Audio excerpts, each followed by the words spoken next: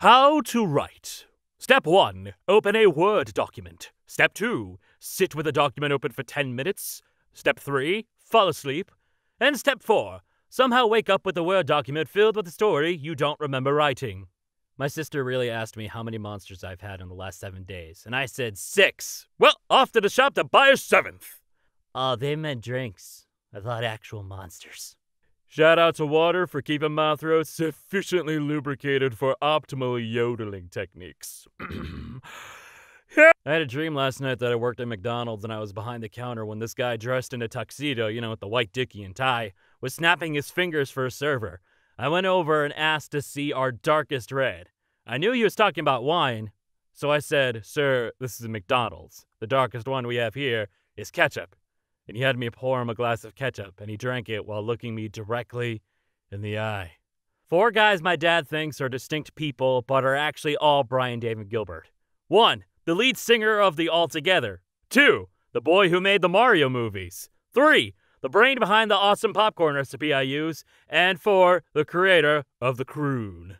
I'm told that many Germans are stockpiling cheese and sausages in anticipation of a COVID lockdown planning, in other words, for a worst case scenario. I scrolled past, then I scrolled back up. Then I rolled my eyes, and then reblogged. My favorite part of Beyond Light so far is the post campaign quest where Elsie keeps revealing her traumatic past while the solar system's deadliest six year old stands there in complete silence. Free therapy. Man eel. Milan. Malin. Omni. Imno, Almi, and Yamno. The fuck, stop it, brain. I might poke you. Keep an eye out because now I most certainly will poke you.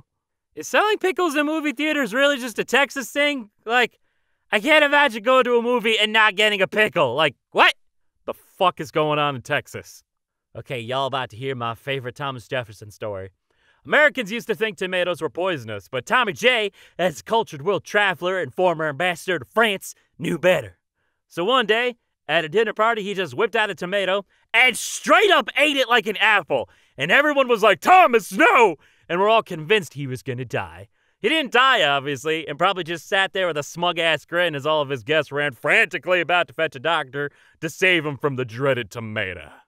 Interesting fact about me is I have great memory, but I also have shit memory. What this means, in practice, I can recite any number of Simpson scenes verbatim, but I can't remember what I did last week. Yeah, one can't decide whether to join the Bards Guild or the Thieves Guild. One will have to weigh the pros and cons. You ever just hand things to your pet to sniff so they feel included? Yes, I do! Remember when Katara wanted to blow up a factory for environmental justice and Aang just tagged along because he thought it'd be fun to be an eco terrorist? Sure do. Yep, good times. You know what? I might fuck around and drink the daily recommended amount of water. Oh god, I have to pee. You know what, actually? Fuck you! Uncouples your stone. Dude. Dude.